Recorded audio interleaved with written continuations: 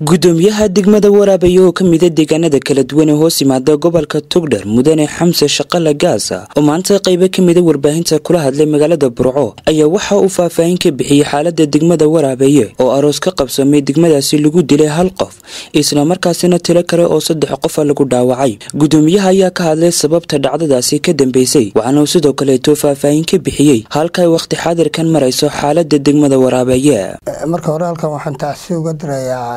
xoogaa shaqaqo oo ka dhacday aroos ka mid ahaa degmada waraabaye habeen hore oo ku dhintay nin marxuuna oo jimcaale maxamed maxamuud la odhan jiray. Guud ahaanba tacsi baan u dirayaa qoyskii iyo heladii uu ka baxay marxuumkaasi ilaahay samariya baan hanaga siiya dhammaanteenba isna naxariista janna allah siiyo.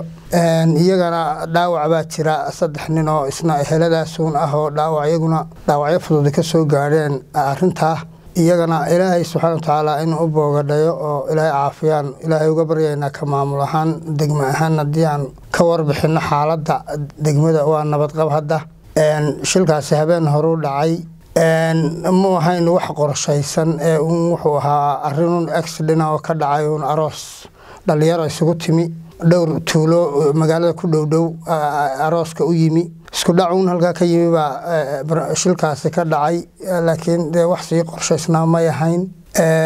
Dadkii eedaysanayaasha ahaa ee arintaa loo filayeyna. Laba ka midana waanu qabanay saddex ka midoo kaleo eedaysanayaalana waa weli waa lagu daba jiraa xaaladoodu meel wacan bay maraysaa insha allahu iyagana inaan ku guulaysanaan ku rajo weynahay.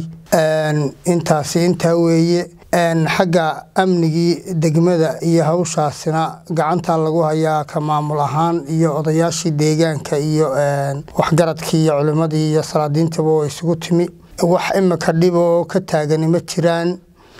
Koley dhangaagaale markii hore dee siyaabo badan wax loogu sheegay way isugu yimaadeen meesha laakiin hadda xaaladii gacantaan ku haynaa waanu dejinay. Waana meel wacanna way maraysaa odayaashibaa gacanta ku haya.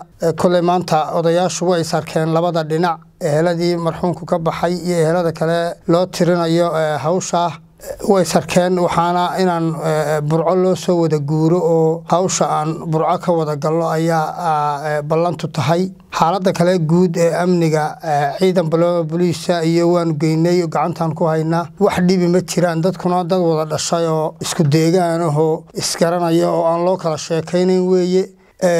Meel wacanna way maraysaa. Ilaa hadda gudoomiyaha degmada waraabaye mudane xamse shaqala gaas ayaa sidoo kaleeto waxa uu fariinu diray.